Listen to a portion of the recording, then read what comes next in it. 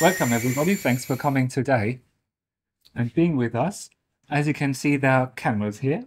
So please just be aware that this is being recorded. It's going to go up on the HSAN, the Australasian Human Studies Network's YouTube channel, where this kind of was born, this idea of Eric's um, talk here about the human right to listen and to be heard, and which is also why we've got amazing guests here with us today to talk about listening, being heard, the human rights angle from all kinds of different perspectives. And I'm going to introduce the guests in a bit. Before I do that, I would just like to welcome you all to the University of Sydney, which is located, located, I'd like to acknowledge, on the unceded lands of the Gadigal people of the Eora Nation, who are and have always been the traditional owners. So this event with the tagline, How Do We Listen?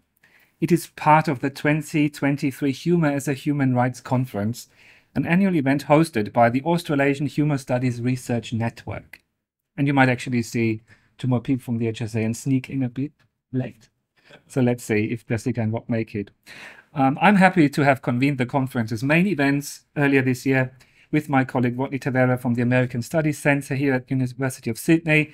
The conference took place in February where we had two full days of online presentations and two full days of on-campus in-person panels and talks. One talk was by Eric Löbbecke who presented his listening devices artworks as a series of think pieces on the human right to listen and to be heard, which builds on a humorous platform of visual arts, cartooning, satire, and creative plasticity. And if you're interested, Eric's um, Eric's artworks are already up in uh, the law library uh, they're going to be there for a couple of months, so check them out if you have not already done so. Eric is going to be talking about this in a moment.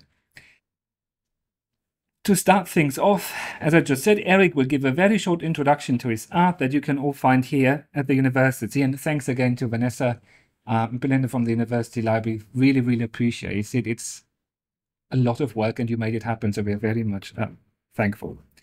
Uh, the artworks are accompanied by a set of small sculptures and a video that plays on the monitor screen there as well. So if you walk over there, it's not very far from here. You would say it, you will see it all happen um, there. A lot of my students actually came up to me and said, "So is this this artworks thing that you're going to have the event on?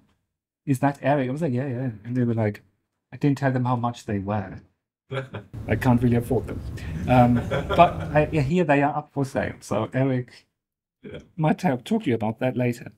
Um, there is also a QR code that you can scan with your phone that will take you to the exhibition context and more information about the artwork series that is called, as we said before, Listening Devices.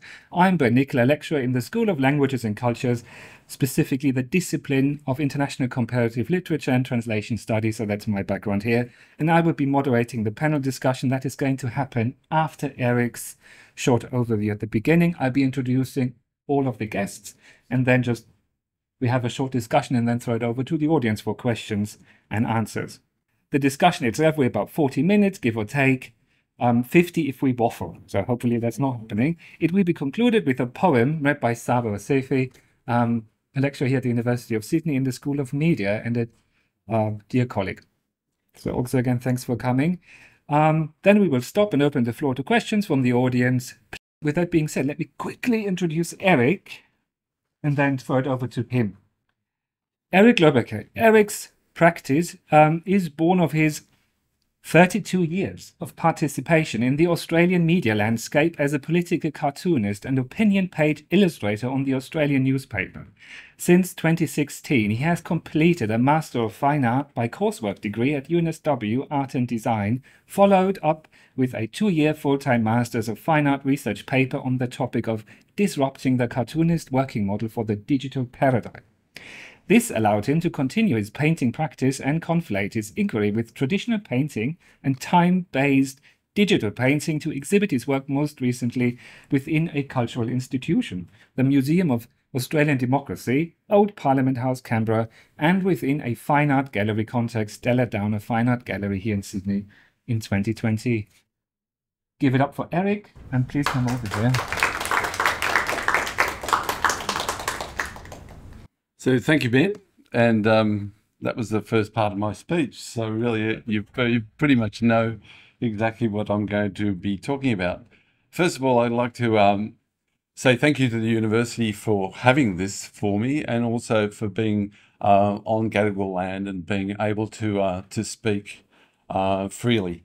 Uh, so speaking freely is about is about being able to uh, voice voice your opinion.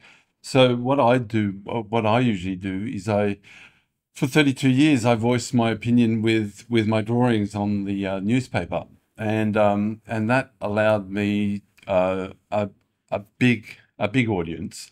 Uh, and then uh, after the 32 years, I was made redundant, and uh, then I had to find my my my new way of uh, voicing my opinion again. Um, the point is, uh, I want to be listened to, uh, and that's that's a um, when when I I look at the way that I do my work, it's it's usually something that that um, requires a very uh, contemplative thought and and um, slow slow thinking, uh, which is not what happened when I was at the newspaper. When I was at the newspaper, I was actually uh, thinking very quickly, and and what I needed to do was I needed to um, uh, put out a drawing within within three or four hours about somebody else's opinion. So I was looking at somebody else's opinion and uh, formulating my own visual from that, and then uh, and then getting it out by seven thirty. So. Uh, after 32 years, I got very, very good at it, and, and I'm very quick at drawing. So I was going to use that in my fine art, um, but it was COVID, and at that time, um, um, uh, I was doing it so quickly, uh, uh, drawing from the opinion page, because I, I, knew how to do it so quickly.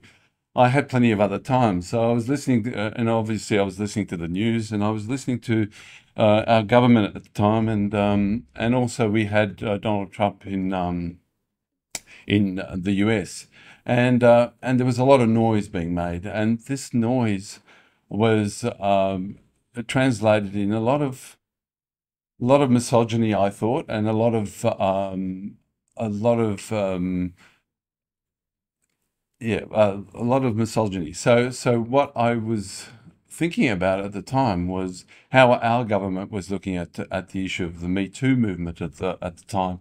And it was really interesting because we also had a government that wasn't listening to women at the time. And so we had uh, Brittany Higgins, uh, uh, with with her um, rape allegation that was not being listened to. We had Grace Tame, Australian of the Year. She wasn't being listening uh, listened to, or she she she made she made a real good point of that. And then we had the, the what really got me going on on these things was that we had a government with no ears, not listening to Christine Holgate, who who came in um, and she revolutionized uh, Australian Post. She actually did really well, and um, and she made a really big profit for Australian Post. Yet it wasn't politically um, uh, expedient to have her there, and um, and um, Scott Morrison uh, went up in Parliament and actually um, um, uh, derided her and said, you know, get rid of her. We don't need her. Whatever. So she had to she had to resign. But then then uh, at the committee she came in. Uh, so there was a committee meeting about about what had happened, and she came in with with the white suit, and that that really impressed me because I thought, okay, well, what's the white suit about? So in my research, I, uh, I found out that the suffragettes uh, wore the white suit and I thought, okay, well, there's a lot of symbolism happening here, and it's really quite good. So I started thinking about how I could make these uh, earpieces for men with no ears. And so this is this is probably one of the, the last ones, but I started off, if you go downstairs and have a look, I started off with a big flower because, you know, I mean, uh, being a cartoonist, I was very, very directed on um, um, literal literal uh, interpretations. And so a big flower. So it starts with a big flower, man with without ears yelling, you know. So and I kept on going. But what I was also doing at that time was because I was transitioning from being a cartoonist to an artist. Uh, uh through my MFA, I was doing an MFA at the time, and I was doing what what were called um, works in progress. So the works in progress was me doing my opinion page, but uh, on a weekly basis on one topic, and then they became uh, drawings that were that were um, made into a um, an animation, and and I got my wife to uh, to actually do the uh, narration for it, and they were published in the newspaper at the time. Seventy five of these drawings, one a week. So I got really quick at drawing and and coming up with a logical uh, narrative. So so it was it was good fun to do, and uh, and my MFA then came up with seventy five drawings at the end but I was also uh, learning how to use the iPad as a as a painting tool, and and to me that was really exciting because it became a really uh, strong uh, strong painting tool, and I think I came to university with and Joan taught me at university, and, I, and that was what was in my head at the time.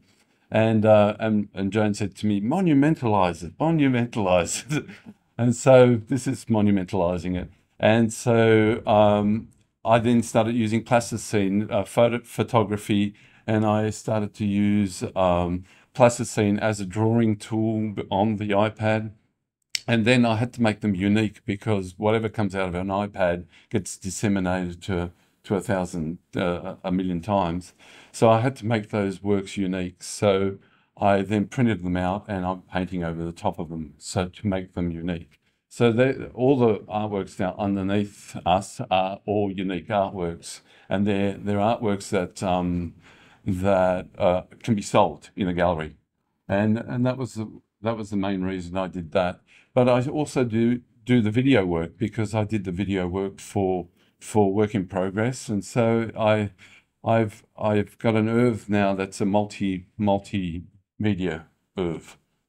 Anyway, so so really, so we've come to this point where uh, we're we're thinking about listening, and and and I've put out these images about uh, listening, and then the good thing about what I do is that I can bring it out to um, a wider audience on on Instagram and Facebook, and I've got quite a, a nice um, following. It's only a thousand people, but these people actually feed because they because of the work in progress, they they allow themselves to to give me ideas or, or to to talk to me on on that on that uh, uh, device or on a device.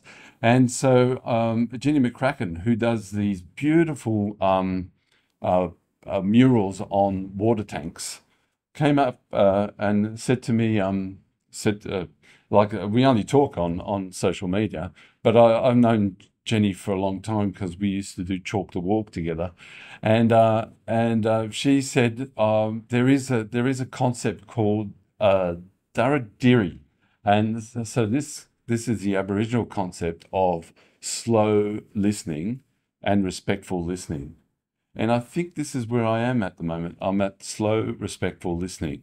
So I think I'm going to leave I'm going to leave the talk at that point so that we can we can really talk about that point. So thank you. Thank you for listening.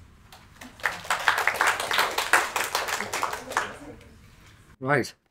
Right. So now with this little intro, might I just ask our guests to come up here and just find a chair if you'd like. So we're now just throwing it open to the guests and to talk about oops as we're setting up for the discussion round talk a bit more about this act of listening and the human right to listen and to be heard. There you go. From these different, oops, just Saba, you want to just grab this? That's fine. Sorry, just fine. No, that's fine. Um, and find kind of, you know, maybe a common thread, maybe um, we can get this dialogue going more organically. But each of our guests has a very different and distinct take. But we found there might be a red thread kind of going through all of these. So just quickly, um, I'm going to introduce the guests in alphabetical order. You already know Eric, but you do not, I think, maybe know who Joan is. Um, so Joan Ross, bold ex and experimental. Joan Ross's practice investigates the legacy of colonialism in Australia with a particular focus on reconfiguring the colonial Australian landscape and drawing attention to the complex and ongoing issues surrounding the effects of globalization and colonization. Since the late 1980s, Joan has exhibited across a range of mediums from drawing, painting, photography, and sculpture to installation, video, and virtual reality.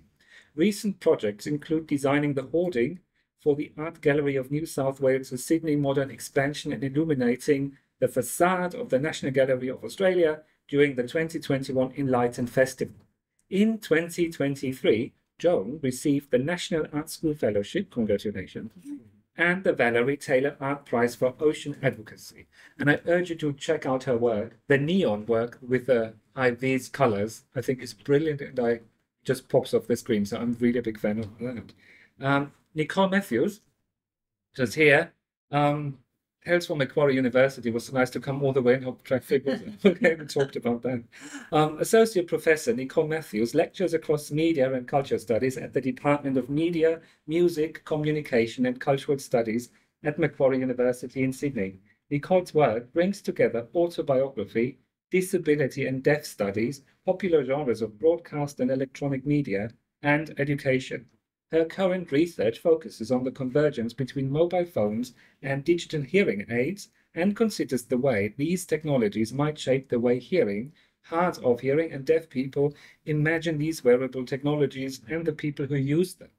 So we've got the technology kind of coming in, like with Eric's painting style there as well.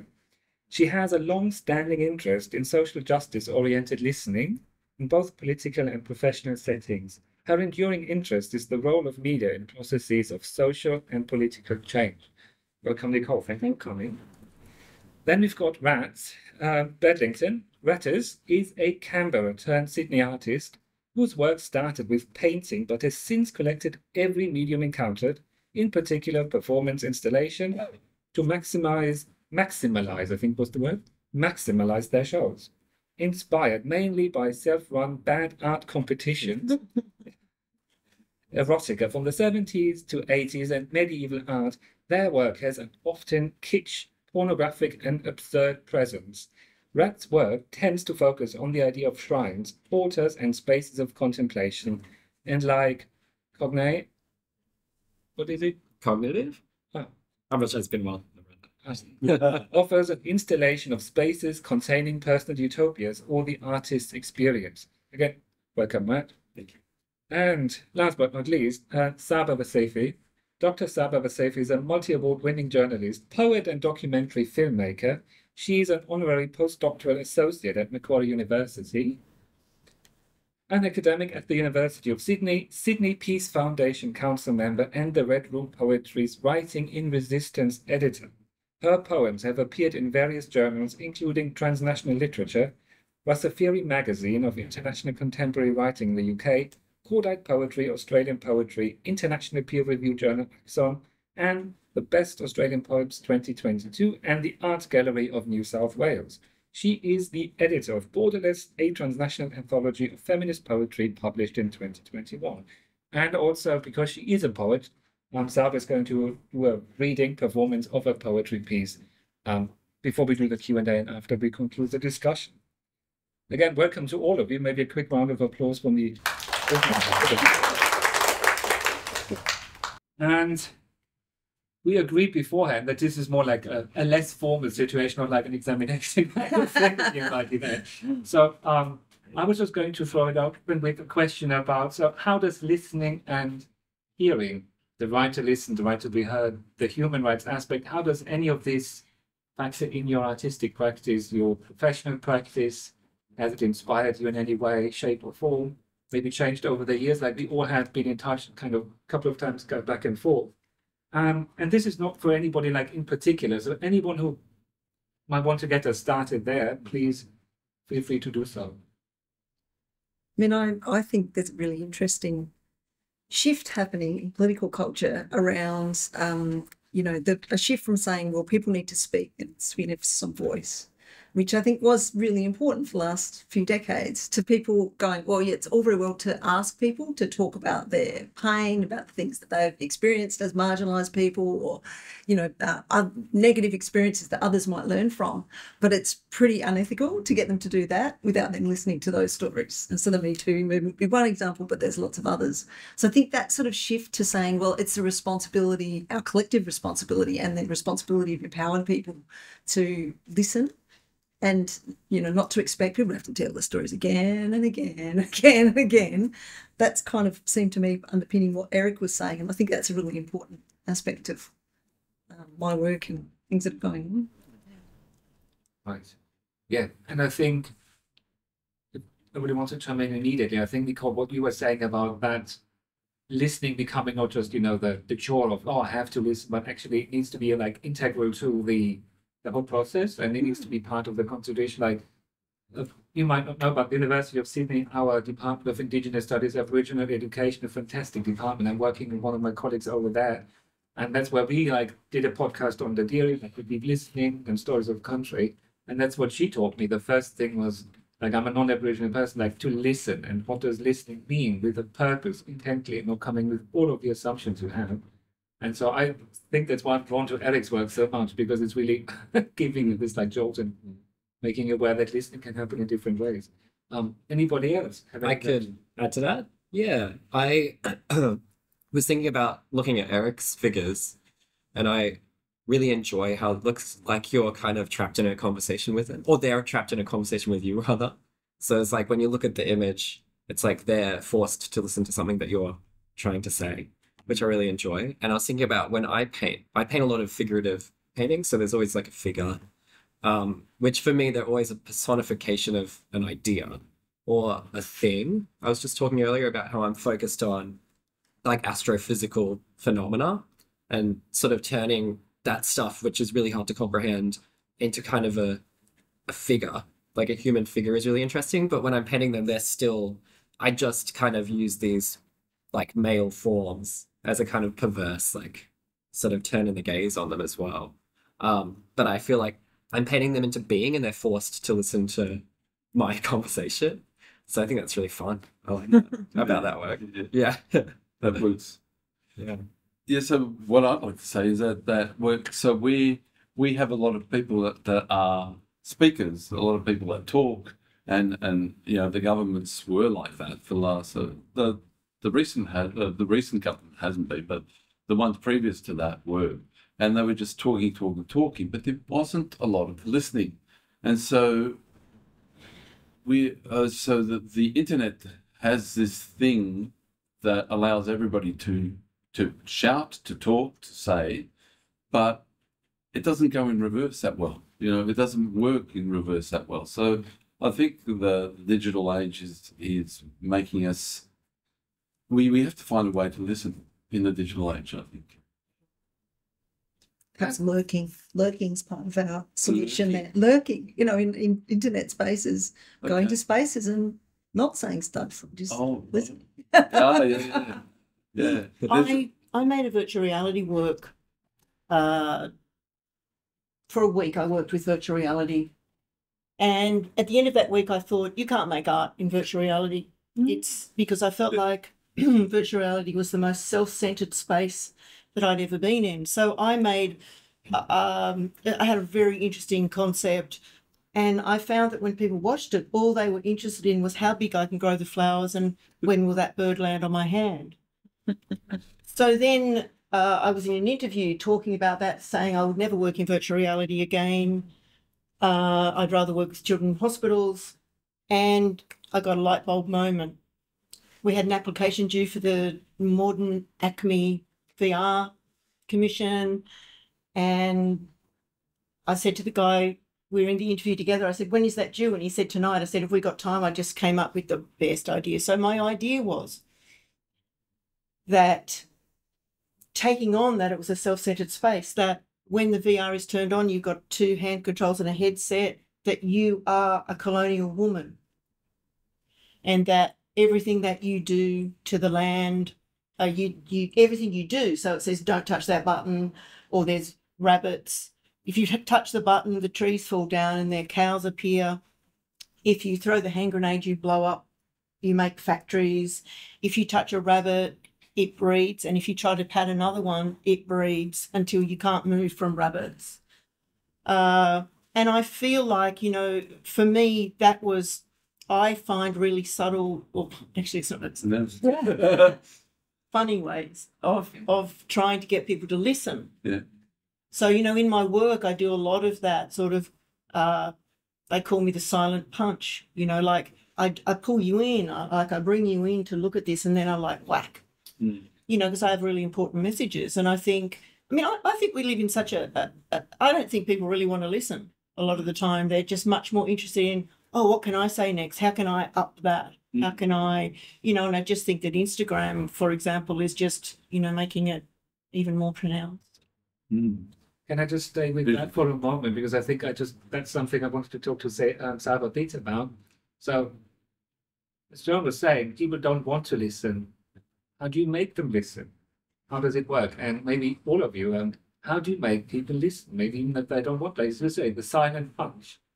Um, I try. I mean, I know that. Uh, um, for example, I've I've got a work. I was just uh, we had the Hadley's, a hundred thousand dollar art prize. I got a highly commended in it. I was never going to win it, but I got a highly commended. Um, and it's of a an old white man made up of a couple of different figures. Anyway, he's an old white man. Next to him is a a stump of a tree, and behind him is a landscape of of cut down trees and the title underneath it. So I fake all these up to make them look like old works. And underneath it, it says, uh, Those trees came back to me in my dreams. So what I start to do is I start to, uh, I think, you know, as an artist, you have the opportunity to remake the world. Mm. You, you can. You can make things up. You can, uh, and and what I I've made, I feel like I've asked this man to go back and regret his actions.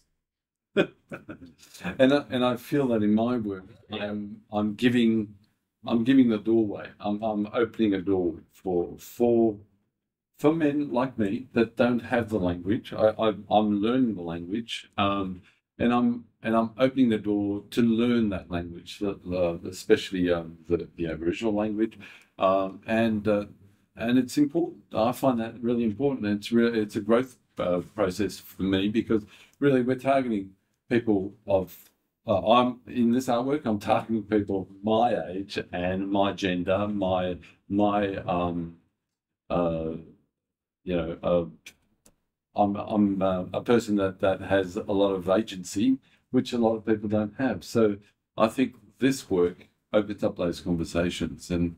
And and and I saw uh, Joan's work, and it opened up a lot of conversation. The the, the VR work, um, and because people were entranced by the fact that they were in this other world, you know, it was a totally different world, and it was a different conversation that that, that was happening. Yeah. right.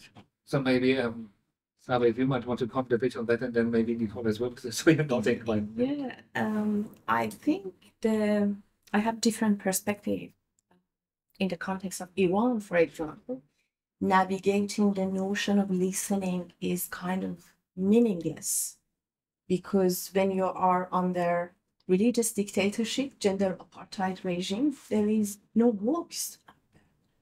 Everything has been suffocated, and um, there is always punitive practices behind everything um, you talk about if it is uh, going to cross the regime's hard line. So there is no voice. It's there is no multivocality. There is not freedom of speech, freedom of expression. All form of creative production should go through censorship of Ministry of Art and Culture. Everything should um, meet the criteria of radical, the radicalism and um, their ideology. Um, everything should, um, you know, the, every production exposed to some sort sort of censorship. Um, so when voice is not allowed to exist, how we can think about listening in that sort of environment? So I think, in my view, all the carceral spaces which can um, be defined as any form of incarceration, which can be carceral space. I am referring to any hybrid form of incarceration in the context of Iran can be as big as a country. Iran is a country, is a prison as big as a country. All aspect of your life is under control, surveillance, and um, suppression. So this is a characteristic of all form of carceral spaces, like detention like detention regime, like um, dictatorship regime, um, that when voice is not allowed to exist. So this navigating or talking or even thinking about listening is crucial. Yeah, Is that sounds make quite sense? radical, yeah. Yeah. yeah. Talk And, Yeah, and a privilege. Yeah. Yeah, the privilege. Um, Nicole, you were nodding there, maybe. I guess I've done research in much more sympathetic spaces to the idea of listening. So I did a book a couple of years ago, which was more than a couple of years ago, which was looking at um, listening to first person narratives in health con- context. So things like the NHS in Britain um, and in, say, dementia care training in Australia.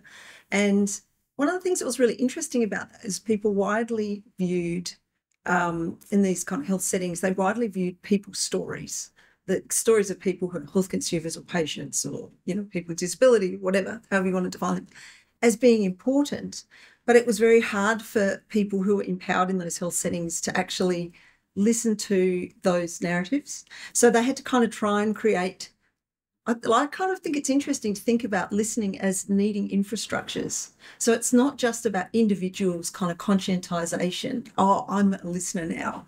Um, and obviously, part of that is legal structures or judicial structures and political structures. Sometimes it's about um, physical structures, you know, like the like I've got single side of deafness, so a space that's not very acoustically friendly makes it really hard for me to listen if you're culturally deaf. You know, obviously you need interpreters or you need captioning. Um, so thinking about listening as something that has got a kind of infrastructural dimension, and part of that might also be a sort of affective infrastructural dimension, like thinking through well, what, what makes it possible for people to listen to stories that might be confronting. So, so I spoke to some people who said, oh, look, it's really hard for nurses in the NHS in a sort of time of austerity to hear a story about the failure of the health system, which they're fully aware of, that they feel a sense of, of kind of moral, um, you know, conflict about listening to their values being violated um, because of the fact they're working in a system that's so dr- drastically underfunded and, you know, poorly organised and everything. So they're not kind of emotionally able to take on the stuff that's being said, if you see what I mean, Yeah. because it's so challenging to their core values that it's just overwhelming. And I think that's a brilliant point. Like, particularly when I came to Australia, it was like, all right, so you learn about histories and everything. And then you go to an Australian community or person, and then you unload that uh, trauma. Like, like just like looking at trauma, I'm like, yeah, but that's not their job. That's mine to work through. That's interesting. So I was, I was interested in that.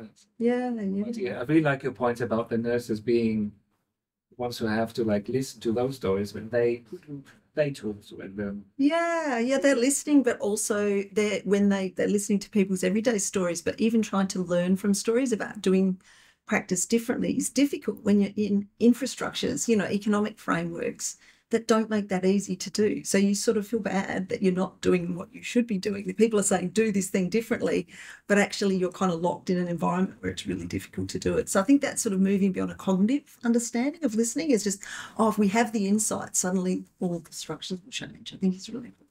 right. So maybe that brings me to my next bigger question that I had, which was, as Nicole was framing it much more elegantly, the infrastructure of listening. So how does this infrastructure look like in a place like Australia, which was what Eric was really talking about? So there's certain, you know, aspects like gender, ethnicity, mm. race, like all plays into it. And maybe you can talk again from your experience or your professional practice about the infrastructure of that listening. What does listening look like? Maybe talk to us a bit about the positives that you've encountered, or maybe what technology has changed about listening, or has it improved it? Has it diminished it? Because I'm just finding from teaching here, and now I've been teaching it for six years, some things with the students you can tell they're not listening at all because you're competing with the students so much. So seeing and listening to me like become kind of like contradictory things at the moment. Then the question is always how do you kind of get them back into this space of active listening? So um, because then of like the second week they can they swear they listen to everything you said and they have done half of it. Right? It was very interesting to do. Um, Yeah, Yeah. I could extend on that. Um, and it's kind of an extension of what you were just saying as well. Um, because I, my work sort of draws on personal experience, and a refusal to listen to certain things is very interesting to me, and it's like probably quite a universal experience. Um, but for me, and I I channel this experience to a lot of my work, is encountering. I'm non-binary, and trying to explain that to people is very very interesting to me. Um, and it's the kind of people at a pub that you might find who have this idea that they it could possibly be because they've discovered everything. Like, There's no information left to listen to. Um, and then on your point, the way that I interpret that is like very grandiose, but um, back to the kind of cosmological stuff that I channel, it's the ability for people's perception to change based on, I guess, modes of information. So I made a video where I'm embodying singularities or black holes, and they're speaking to the audience. And it's kind of in a way where it's like, you don't understand. You shouldn't even bother. You shouldn't look. How dare you? But it's kind of this like enraged feeling that's kind of um, uh, involuntary sometimes when that stuff. But then to also listen to the other side of what they're saying because there's a sort of more peaceful one. it's sort of saying there are different ways to look at this because a singularity um, is sort of the limit of our understanding, but singularities exist in other ways as well, and they always have. A singularity would have been way beyond where we are now in the past, if that makes sense. So things have changed a lot technologically, which I think is interesting. That's what I'm fixated on. And before we hear from the others, might just because one quick point to follow up of that. So when you put your work out, right? So what um, what do you think people respond? Like, how do people respond to it? Where do you put it out? What's the kind of the echo, the reverberations? What do you hear when you put things out to be heard? Yeah, I can speak from the show that's uh, current. Um, people, it's a mixed reception. People are really scared of them because I've made them scary, like these black hole figures, because they are speaking at you quite angrily. Um, but a lot of people just fixated by it because I've made them really colorful and sort of glittery. and then because of that, they listen to all of it. And it's a five minute video or so. But they always come out going, I think I get that. Which I find it's really good. That's successful for me. I was surprised, but they listen. Yeah. So um, yeah, so I work with Rat, and um, and so I came into the uh, so we we work at the MCA together, where Gallery hosts, and I came into the institution with a singularity sort of uh, attitude um, because I didn't really know much about anything uh, about binary um, uh, existence, and Rat's been my teacher, uh, so I gingerly went up and asked him fingernails and uh, and um, because he commented on on somebody's fingernail polish um, uh, in the gallery, and I said, "So, t- tell me about your fingernail polish." And and and so this is the way that I could actually start to have a conversation with Rat about what I didn't know about. So I wanted to know, I wanted to show him that I was going to listen to what he was going to say, and so yeah, it was about sitting there and actually listening, and and of yeah, uh, Rat's a, a, a great teacher in that way. So so this is a so this is a um this is a this is why I really wanted Rat to come along because I really want um to have open up this conversation, you know, and it's really sad to hear that in Iran um there is no conversation like this, you know, and and and um yeah, that's that's what I really want to say. I, I just, yeah from my point. But then just going on a bit more about the infrastructure, I think, you know, as Eric just pointed out, conversation is one of the bridges there. But maybe going back to Nicole and um, As well, you know, and again, what does this infrastructure of listening look like in your practice, in your experience with, I think that point is really interesting about the scary singularity, Yeah. like the glittery and not. Can I again jump in? Uh, so I'll just jump in again. Uh, I had uh, uh, so in the MCA, the the infrastructure there is uh, we've got labeling down low, and this lady came in and said, "Why is the labeling down so low?" And I said, "Well, because of the wheelchair access, and people with wheelchairs can see the, the label. One percent of people, one percent of people, we have to, we have to bend down. And I and I, I got it back, and I said, well, you know, one percent of people, yeah, but you know, now we're an inclusive society. We actually allow these people to actually see the label at that high, and it's quite a nice thing to do. And the MCA is an inclusive, um, uh, and it showed me that they were inclusive because they, I'm an older person. So for for somebody to um, hire me, um, well, meant a great deal to me. So so, and she was an older person. So so it's bringing it back to the person that's actually doing the the the being being mean really, and um, and that's the way I go about it in in that uh, in that setting. So But, yeah. so it's- and again, Nicole, if maybe you want to. Yeah, I mean, I'm just kind of, in some ways, your art, Eric, is interesting because it kind of, it, it because I've done done a little bit of stuff about hearing devices and deafness. It sort of like uses a metaphor that puts the empowered person as the you know the non-listener. But in some senses, it's it's kind of ironic to me because I'd say deaf and hard of hearing people are often the best listeners, like so flexible. I've had so many experiences. I've been learning sign language for many years, of just the the willingness of deaf people to switch tracks. Okay, okay, we can't communicate this way. Oh, does someone have a pen and paper, or can we use gesture, or oh, does someone have some ASL, or you know what I mean? Just being, oh, I've got my my app that's that can transliterate, and that I think there's a really interesting parallel to you know monocultural or monolingual environments where people, and I wonder whether this is hearing people more broadly, or is it uh, hearing people in anglophone worlds where they're not used to code switching. Maybe that's that's an issue. Might be. Yeah. Yeah, yeah. So I mean, I just find it really interesting to think about the actually the the the one of the infrastructures that we might consider, like you're saying, Eric, in the context of captioning. I'm not sure that universal design always works, but flexibility of kind of modes of communicating and willingness to to take on a different paradigm and sort of go, oh, okay, this doesn't work for everybody. You know, I mean, Mm. for example, I don't know, the quiet hours that they have in shopping centres now for neurodiverse people. There's a kind of an attention to diverse needs in that action, but there's also a sort of an understanding that, that people's kind of sensoria differ, you know, and so having to be aware of that all the time, I think is that's that's one of the ways you can make a listening infrastructure is just be willing to change things, you know. And one, one good example of that was when I was sitting up downstairs, a man came in and said, "Oh, my my daughter's deaf," and um, and it was really interesting that when she went through the cochlear implant, um, um, getting a cochlear implant, we were put into a room to hear what what um, my daughter would hear, and she said it was garble. It was garble that they were that that, that we were listening to, but I'm so proud of my daughter that she can actually make English out of that. And th- that was such a, and that was from just looking at my drawings, you know. So I That's so interesting. yeah, we're, we're getting some of it.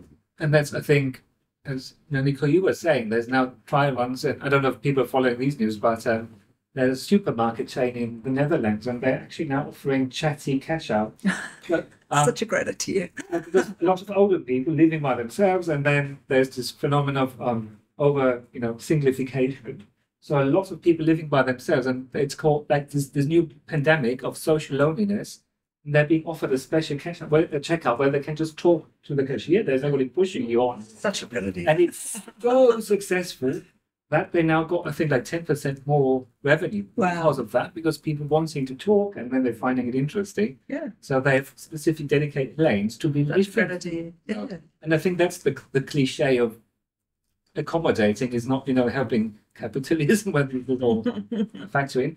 But again, that would maybe Saba can talk a bit about it because I've got another question about technology actually in that case. But Yeah. uh, Uh, when I came to Australia, I was thinking, okay, wow, I have a platform, I have a voice, democracy, fantastic. And then gradually, I was learning how the roof of freedom of speech is, you know, limited.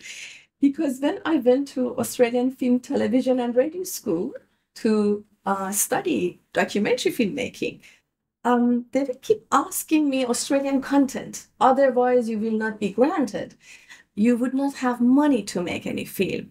And I was thinking, I just arrived in Australia. I don't know anything about Australia. And um, I made my first short film. Um, I because I escaped from Iran with my little daughter. She was little. Now she's taller than me. and um, she's she's she was a cellist in Sydney Youth Orchestra, and now she's doing music. I filmed her underwater because and it was her struggle to be heard. And you know underwater you cannot hear anyone. And um, later on when i start to make my second film again the struggle was the problem was australian content. Otherwise i could not make my landmark documentary.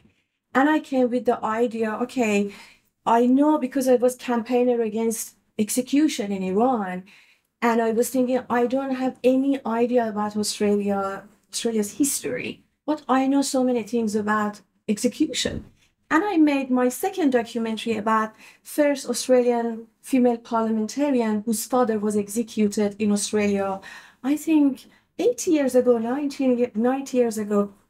And it was interesting because uh, my supervisor told me it's interesting the uh, theme of suffocation and struggle or claustrophobia is a common theme of all of your work. Your uh, cre- creative practices. And gradually I learned how can I um, talk with visual languages. People would not bully my accent. People would not judge me. And uh, Islamic Republic sympathizer would less bully me because it's difficult for them to understand the metaphor. Is that is that sense? Yeah, it was my experience. And later on, when I started to write about uh, women and children uh, in detention center on offshore detention regime on Nauru, I realized I always was thinking about a Spivak argument article, can subaltern speak? And through my work, writing about those women in on Nauru detention regime in Western context, I was thinking, yes, we can talk, but who gonna listen to them?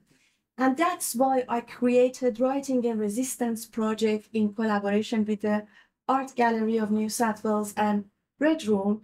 And I try to use my personal experience to mentor them to tell their own story without pasteurization of media system um, in a poetic structure, because in that way, people listen to them much much more than before. And in this way, we can humanize the narrative, which has been dehumanized through media, through advocacy system and policy.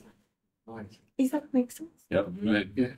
And I think you can see now all these threads around listening and, and being listened to coming together there, which brings me to my next question. That's okay, which is about technology and um, how does technology play a part in this process of getting people to listen, speaking in other ways. Um, I- how, how do Can I you, jump on this one? I was teaching exactly this one today. Cyberspace, you know, the digital uh, platforms, I think it's a kind of, there are so many limitations to be involved in the digital platforms and online environment, but I think cyberspace um, provided in some level some form of liberty and emancipation for women in, as I said, in carceral spaces such as Iran and detention system. But I acknowledge, and I am one of those people constantly, I have been trolled a lot, and as you know, yeah, we, yeah. and there is another limitation that can, um, you know, Islamic Republic regime, they recruited 2,000 people on their cyber army. You know, they are paying people to use cyberspace to silencing people. But in another way, with all those uh, limitation, I think the cyberspace provided massive amount of uh, emancipatory space for suppressed people who don't have any representation in human rights industry or media um, within Iran and um, as I said, in detention regime, for example, you know, just women who do who do not have any representation in me- Iranian Islamic Republic media system, they feel they take out their hijab they fire their hijab um, and they feel themselves and they share their idea and their own reality through so- cyberspace and through cyberspace they can deterritorialize colonize territory Fascinating. And have, Wow. yeah, the technology, they Technology. brought it right. Yeah. positive and negative side yeah Um, we might just go down whoever wants to answer or has something they would like to add there. Technology and listening, speaking, hearing. It's hard to generalize. I think, you know, I mean, I think the moment of hyperbole is over about the internet. And I think, you know, there's, it, it's easy to have a kind of um, a heuristic about internet spaces that suggest they're all problematic or new technologies suggest they're all problematic. I used to do a lecture where we took, I got little snippets about, you know, things people said about the novel, things people said about silent cinema, things people said about video games. They're all the same. You know, they'll, they'll, make everybody randy and have too short attention spans, and the working class people will, you know, be, you know, children will be corrupted. So that I found that really interesting. But so I'm, I'm kind of always a bit wary about making broader generalizations. But I think the lens that I think is interesting from I think the deaf studies has brought to the um, to these kinds of debates and disability studies as well is to try and think about technologies beyond a paradigm that's about individual um, and here I'm thinking more assistive technologies beyond individual amelioration or normalization of bodies you know so the, the person who might be struggling to to hear um, having to be responsible for managing the environment such that they can hear and try and use technologies as a way of um, I get a famous writer in this area, Alan Rawson, says kind of ameliorating environments rather than ameliorating individuals or, you know, kind of getting individuals to have to internalize the need to constantly do extra work, to constantly, you know, be responsible for for making sense of what other people are saying. So I think if if we analyze the ways um, media technologies, assistive technologies are used to to think about okay, so what ways are we changing the environment rather than just changing individuals' capacity to engage? I think that's a good thing to do.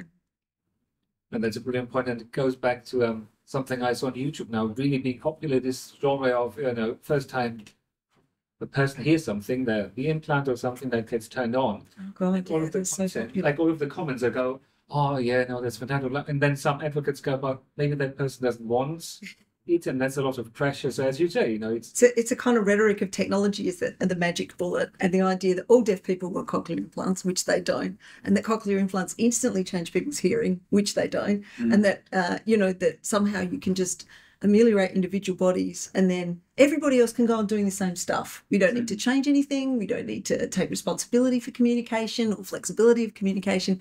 We'll just leave it to the deaf person to do all the extra work, you know. so I guess I guess you know it ties it back to Eric about Yeah. that idea. of- Yeah, um, but yeah, Hopefully. hopefully we can talk a bit more because we have about five minutes left for the discussion, then throw it to the audience. But maybe Joe. Uh, it, I'm not going on from what you said. I'm going on just in terms of technology, you know, and not about my art. I'm really fascinated by what's happening to children who aren't being listened to by their parents because their parents are on the phone. Um, I've watched children down at Bondi nearly drown because their parents are on the phone. I've watched people, you know, people used to walk with their babies in the pram looking at them. Now what people do is they the baby's facing out and they're on their phone.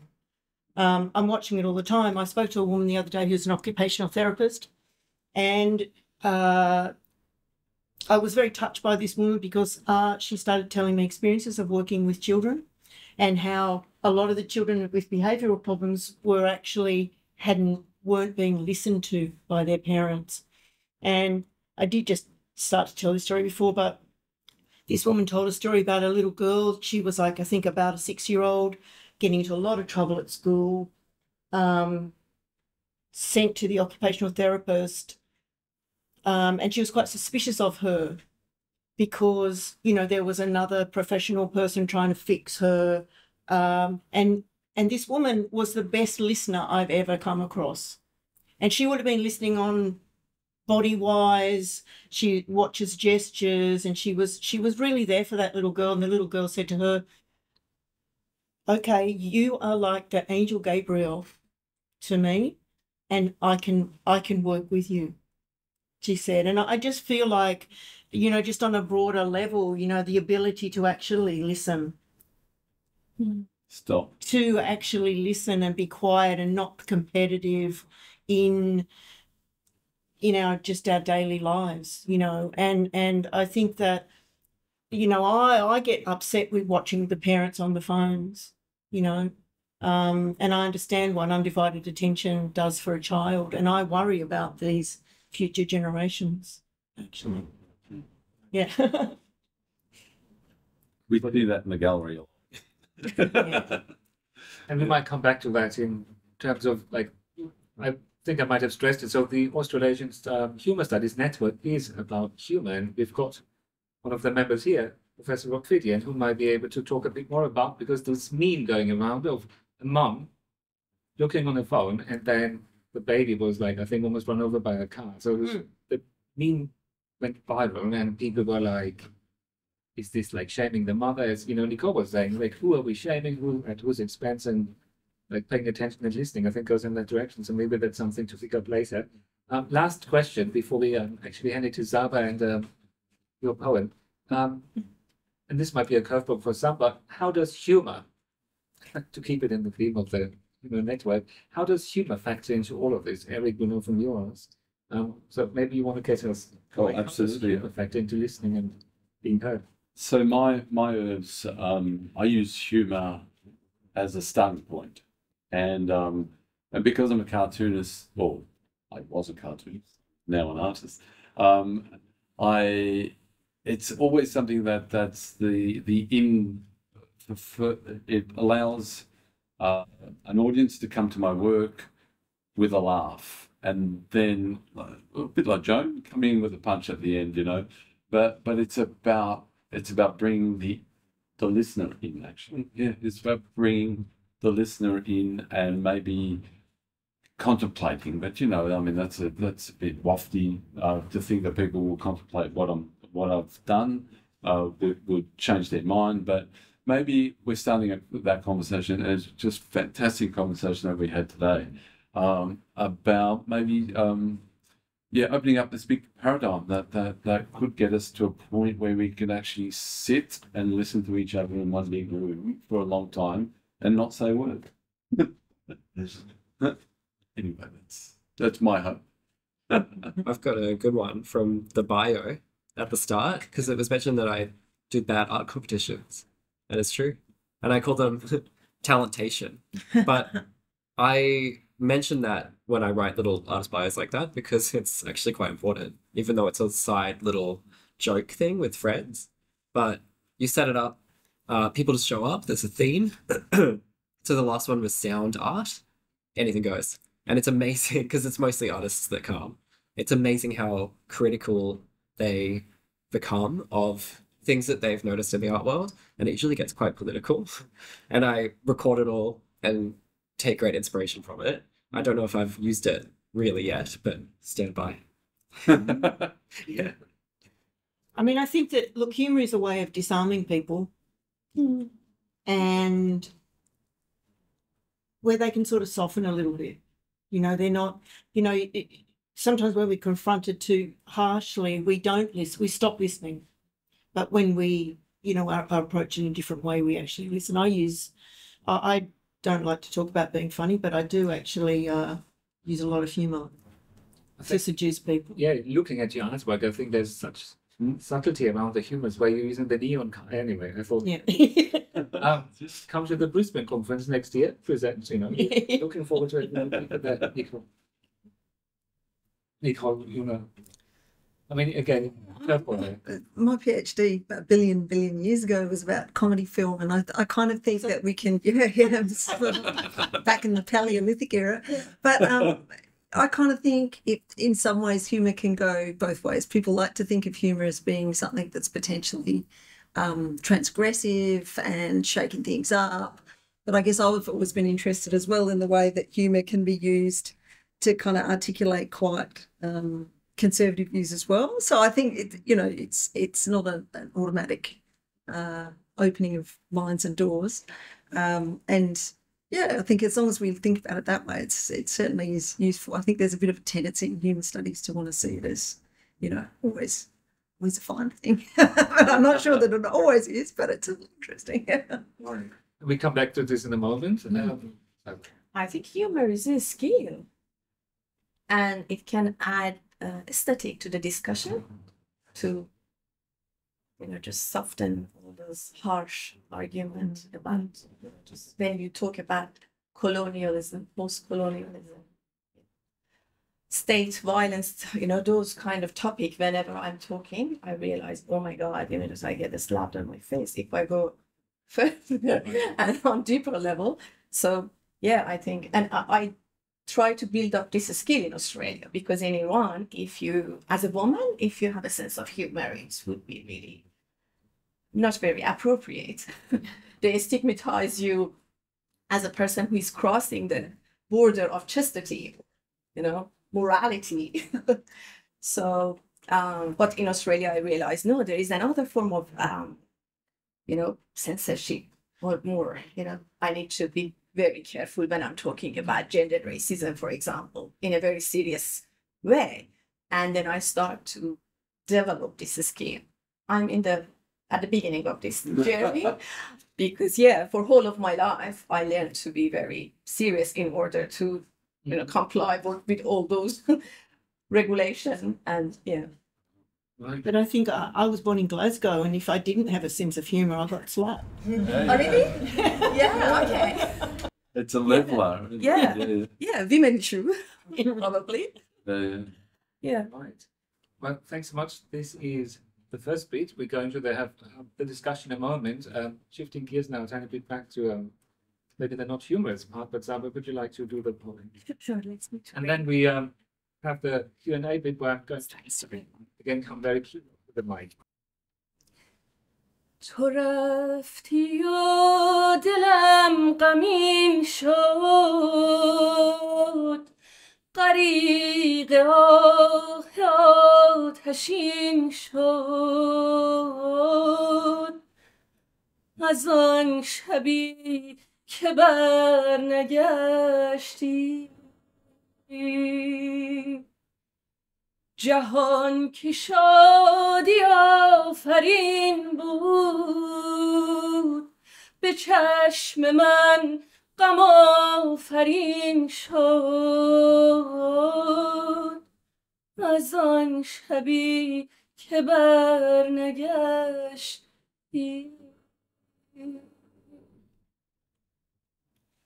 I orbit like a sun.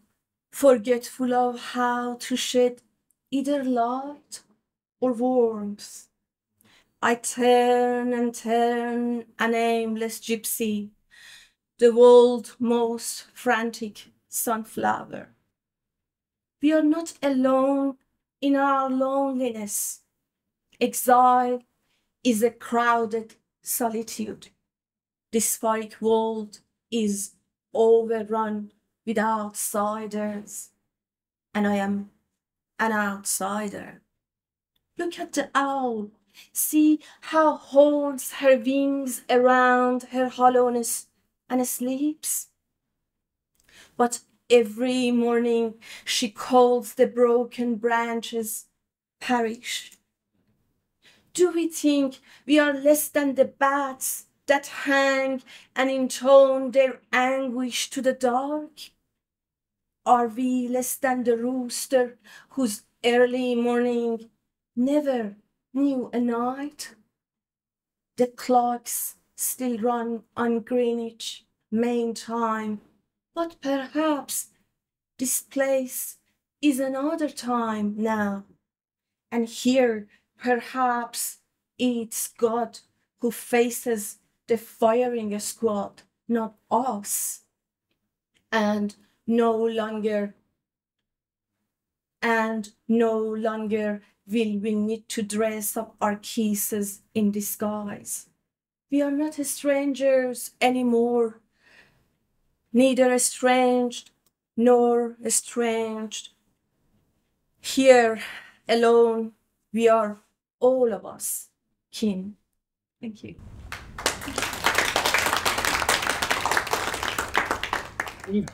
And again, thanks to all of the guests so far. That was just brilliant. As you, as you can see, very different takes and approaches and ways of listening and being listened to and being heard. Um, now we're going to throw it open for questions from the audience. Again, I'm going to come around. If you have a question, please let me know. Thank you. That was really uh, fascinating to uh, listen to. Um, when you were uh, in your opening talk, Eric, you um, said that um, you want to be listened to, and I, I really responded to that. It, it, felt very earnest and something that's quite relatable.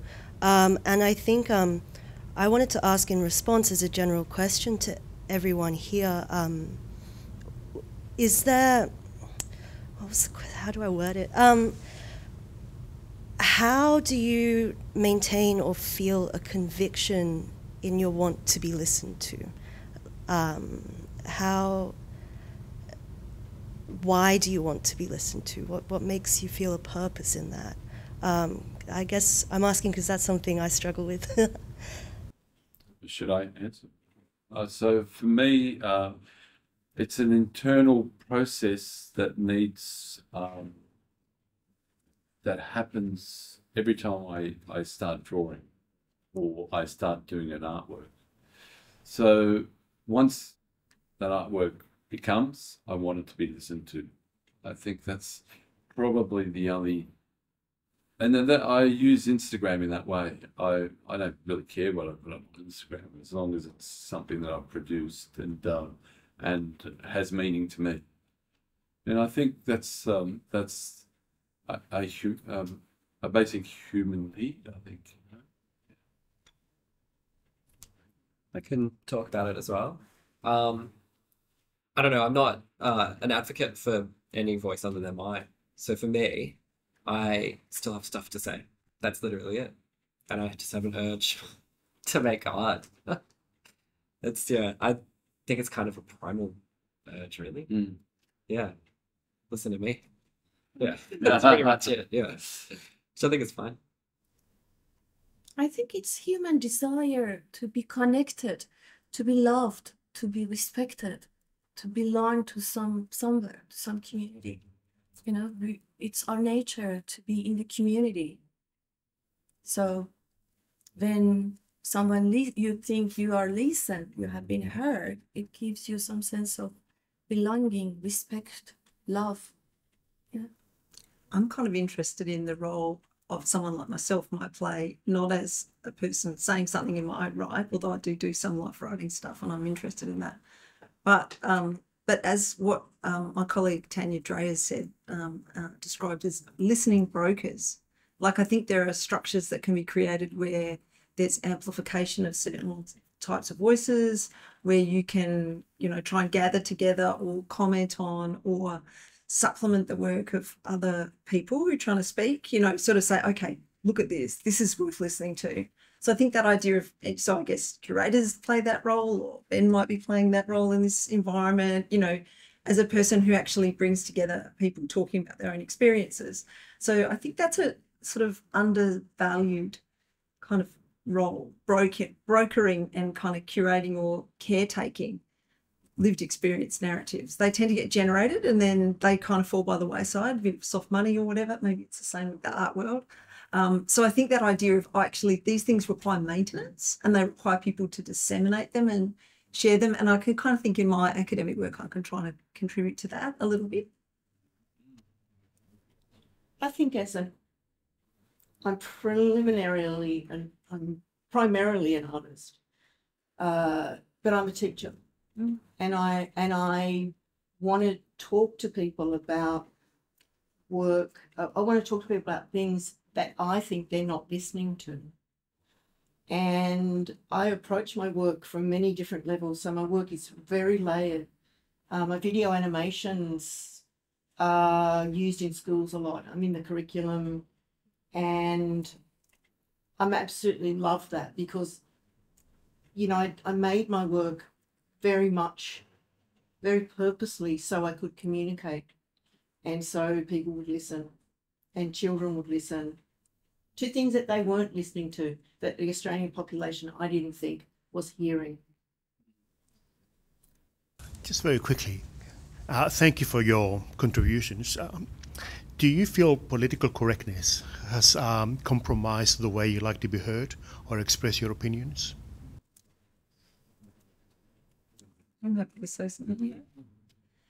I think that the word political correctness doesn't, no one really uses it to talk about their own practices. You know, it's always used as a term to describe other people's practices. And, you know, I'm pretty old now. So, you know, back in the sort of 80s when I first went to uni, in Australia, we didn't really use that term. We might, except ironically, you know, ideological soundness might have been the more tongue in cheek version of the same thing.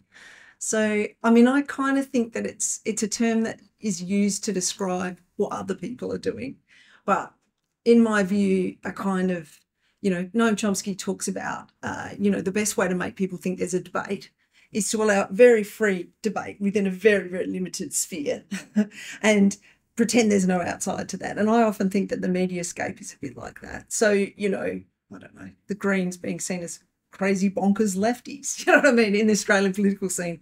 Really, they're not. They're kind of social democrats. In Germany, they would be like very standard mainstream party. So we've managed to create an environment in which the sphere of debate is so small that little tiny moves outside that space get seen as, oh, look, the crazy lefties are at it again, or look at these bonkers feminists or whatever. So I kind of think, um, I think the idea that somehow, and I also think we don't pay enough attention to the spheres where certain things are policed and the spheres, spheres where they're not policed. So you get great anxiety about political correctness on campus, but actually the bigger spaces, the wider spaces that we have are, you know, highly dominated by a very, very narrow range of voices. You know, usually, you know, Murdoch papers, usually, you know, middle class people, white people, etc., etc. So the spaces that are sort of alternative spaces where your work might be foregrounded, or you know, perhaps universities, perhaps you know, an alternative cafe, people get very hot and bothered about the limited number of voices there, but not really hot and bothered about, you know, the perspective in no flies on you, but the Australian, for you know what I mean, which has been so homogenous for so long. So I just kind of think, oh well, really, why are we worried about that? It doesn't. It that doesn't worry me in the slightest. I'm much more worried about the mediascape more broadly. Mm, I can add to that as well. Excuse me, but it's like I feel that if people sort of use that term, it's usually not accurate either. So in my work, no, because when I'm creating work, it's usually in a kind of listening dialogue with things that I might think might not be okay. Um, and, you know, sometimes they get chopped out. And that's it. That's the political correctness, I guess. Um, and usually that term is used by people when it's sort of directed at them for missteps that they've made. Um, and I think it's pretty easy not to make those if you start the dialogue with listening mm. rather than putting stuff out and then getting told that it's not okay. So, and also, I just want to say one more thing about political correctness. They're, they're, they're polemics. So they're big polemics on one side, big polemics on the other. But there's a Venn diagram that shows there's a little grey line in between, and I think we said it in the spiel, that there is a place for us to start a conversation in that in that in that polemic. So one polemic, the other polemic there is a space there that we can start having a conversation. And Stan Grant talked about that when he was talking about Adam Goodes and the way that he got he got hammered on the field. That that Adam Goodes was trying to talk about his feelings, but nobody was listening. And and that that was a space that we that he wants to occupy. He wants to occupy that grey space so that that we can talk about Adam Goodes' feelings. We can talk about uh, why racism's there, and then and then there's a grey space, and then maybe if we can, if we as a society can dwell within that grey space, I think we can we can start, uh, you know, doing this sort of stuff, you know, and opening up the conversation. There's a new discourse which is emerging, which is draws upon human knowledge, but is a machine machine language and it's a machine rationale. How do you how do you see that as as about it, it's I think it's going to have ramifications as far as what people listen to and and the new authority, if you want to call it that. But it, it, it's a it's an authority with, with with with that is problematic in a lot of ways. I mean, we've already seen some of the consequences of that, but it will become more authoritative as it becomes more machine like, I guess, and less human, I think. Well, in art, I think it's become boring already. uh, because really, when we see what AI can do in art, we see it over and over and over again, and it's not it's not progressive. But I, I'm using it in my own practice, and it is. It, you know, you start using it, you can't. You, you, you just play it. it. It's a jumping off point for ideas, and it can it can generate thousands of ideas.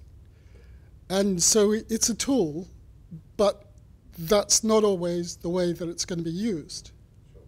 And it depends on whether it's a corporation using it or whether it's an individual or a community um, and so forth. And it's also and it's also um, counteractive with me because I'm using digital imagery, and uh, and people would think that that was already produced by an AI. You know, so yeah, yeah, it is. Uh, that's why I try to paint over the top of my paintings to show that I've actually got agency. So, they, yeah. I want to talk about Grimes because she made a video recently, and I'm not a huge advocate for Grimes, you know, the musician, but she did say something really interesting recently about chess and how chess is like a AI free environment when it comes to human appreciation of it. Um, and I think there's going to be a similar potential thing with things like painting, where the human aspects of art are the valued bits, and that the AI bits are there. So people still verse AI chess, um, and it's still important, it's still used, and it's still chess, but it's not the product that we're looking for. I think it'll be a bit more, really. Yeah. It's very interesting, though, isn't it? I mean, what happens when, you know, medical students start, you know, not learning, just using ChatGPT? Like, I, I think it can accelerate learning. Um, it's recording on here. Um, yeah. Quite, quite significantly and in different ways. So you use it as a kind of jumping off point. For example, um, there were some scientists who recently they were looking at um, ways that AI could help with immunology and things like this. And what it did was generate 40,000 possibility new chemical. Uh, so, okay, it's going to benefit pharmaceutical companies, but it's also going to benefit some people uh, health wise. So, it's a kind of jumping off point for those medical, those scientific students. So, I think it's going to become a really useful tool in a lot of ways.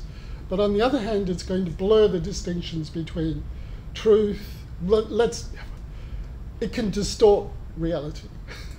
I mean, it is interesting because, like, I I have a fairly uh, wide brain. Uh, I can I can come up really quite quickly with eight different ways to approach a number of different objects, for example. Uh, but I can't come up with it that quickly, and so when I've done it and I've watched what it does, I can't help but to want to use it sometimes as a jumping off point. It's just like, oh my god, I never thought of that. you know, ever. So we might just because we only have time for so sorry we have time for one more question, and I think you know if you'd like to continue that discussion because I think that's fascinating. You know, can you unsee or unhear these things? So that is really you know that is um, that like. but anyway, um, one more question before we have to close out. So there's a, there's also an element of collaboration that we can collaborate with AI, and uh, and artistically we can.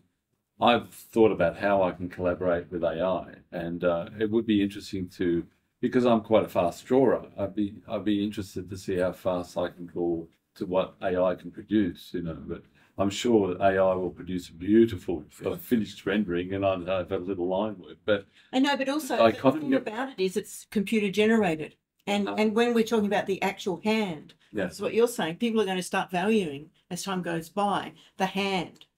It's going to be an interesting. Oh, it's going to be for- interesting. Oh, and another, How that's going to affect people listening, particularly yeah. what they listen to. Oh yeah. Another um, element of the AI is that it's all derivative of what we've already made, That's it. which is interesting as well. It's been put in. Yeah, It's been- which I can't get my head around. So Just goes but apropos of what you're saying about health in particular, that um, I heard on the health report the other day that there was a study done comparing the sort of empathetic murmurings of AI to as in chatbot form to actual doctors talking to patients. And AI it won every time over actual doctors. It was more empathetic according to you know. And I was like wow. That's I don't know where that goes but it just kind of made me think "Hmm, okay. Maybe we need to step back from humanism and have a little bit of a think about it. Yeah, well, know, librarians here. But in robot, You can go up to a computer and say, I want all a list of, uh, you know, recently cited articles. Can you summarize them for me? And it will make up something probably that's the problem you're pointing to isn't it Maybe, maybe this that should be the class in the medical school uh, on empathy. and improve improve on the Yeah. bot I like but in robotics, we, we had somebody at, uh, at the conference talking about robotics and saying, well, no, a robot will never over, overtake the human human form. So Well, they also had a robot there that they wanted to laugh realistically, like an actual person at somebody's jokes. I think they were trying to save all, you know, the the women out there from bad man jokes and um, have a robot laugh at them or something like that. And it did not work out. So that was an interesting project there. Um, we're almost out of time, so I just had one last question, unless there's another question there. Um, I was just wanting to know, and this is something I had thought about. So, if you feel completely uncomfortable, you do not not have to answer that. What's the favorite word that you would like to hear over and over again? What's the favorite thing, the word that's your most favorite thing to hear? Which word is that? empathy for me. Safety. I can't think of a word the sound of eucalyptus leaves rustling in the trees that would be what I'd like to listen to uh, Yes. I like enthusiastic squealing, laughter. Yeah, it's always good. I'm going for a magpie. And with that, we are out of time. Thank you so much for the discussion. Thanks to the audience for coming.